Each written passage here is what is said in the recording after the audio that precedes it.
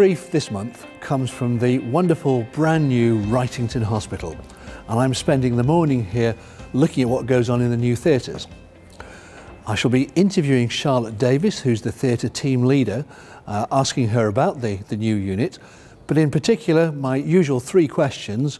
First of all, how many procedures have been done here since the new hospital opened?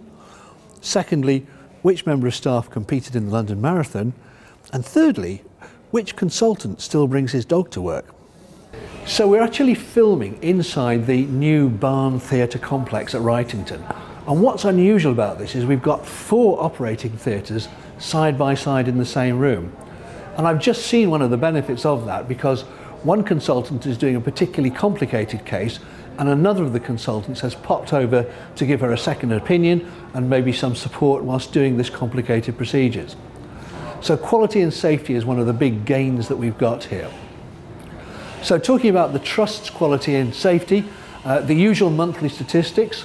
For HSMR, the latest figure we have is for January, which was a 93, taking the year to date to 91.5. On MRSA, we continue our very long track record of no cases at all. And on C. diff, March was another excellent month with no cases at all.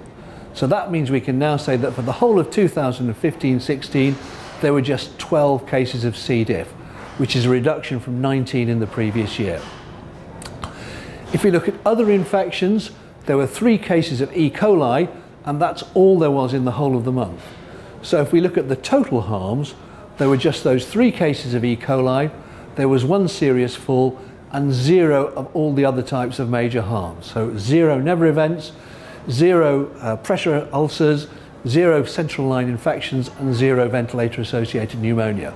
So just four in the month, very excellent result, and only 53 in the year, which compares to 79 the previous year. Moving on to performance, and it's been a month of good news, bad news. So I'll start with the bad news, which is yet again the finances. As predicted, we have ended up the year with a deficit of 4.9 million pounds, and that was after achievement of a 10.3 million CIP, which sounds a great figure, but was unfortunately 2.4 million short of what we are aiming for. We've also spent over 15 million pounds in capital this year, some of it on this building here, but we end up with a financial risk rating of 1 against our target of 3. Now for the good news, and I hope you've all heard this already, but we also had confirmation that the Trust achieved the 95% A&E target on average for the whole of 2015-16. This is a wonderful achievement in very difficult circumstances and it's something that's happened nowhere else in Greater Manchester and probably nowhere else in the northwest of England either. And it's a great credit not just to the A&E department but to our whole system and our partners that work within that system too. So we really are celebrating the 95% in A&E. And a big reminder that we're coming up to our massive HIS launch date on the 28th of June, just eight weeks away. The second phase of user testing has been completed and the necessary changes have now been made to the system.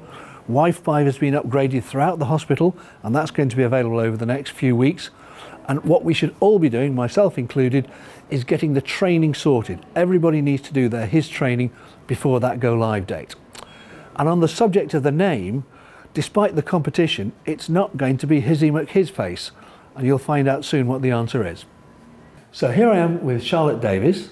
Charlotte has worked for WWL for 16 years, the last 13 of those at Wrightington, and she's now the team leader for theatres here. So Charlotte, tell me, it's an obvious question, but what are the main things that happen in the theatres here? Um, the main things we do here in theatres at Wrightington are to offer our patients elective and trauma orthopaedic surgery We work in one of the busiest hospitals doing this type of surgery in Great Britain and we are world renowned for what we do. We the benefits to our patients are that they have increased mobility and reduced pain post-surgery. Okay. And now tell me about the, the new hospital. Okay, in December we opened a brand new state-of-the-art four theatre suite Um, it, it has allowed us to change working practices within our department and give our patients a much more friendly patient experience. Fantastic. And you, you obviously still face problems and pressures. What, what are the main ones? Obviously, with moving into the new department, the initial pressures were settling the staff into a new environment. We were soon after opening, we had some big floods in one of the other complexes, which meant that at short notice we had to set up makeshift theatres to allow us to continue offering our patients a service and not impact on the experience they had. Great. And what are you most proud of? We're most proud of the investment um, we've had in the Wrightington site and of the outcomes that we've been able to provide because of this. And now for the three quiz questions. How many procedures have actually been carried out since we've opened the new hospital? We've carried out 1,444 procedures in our new theatres. And which member of your staff competed in the London Marathon this year?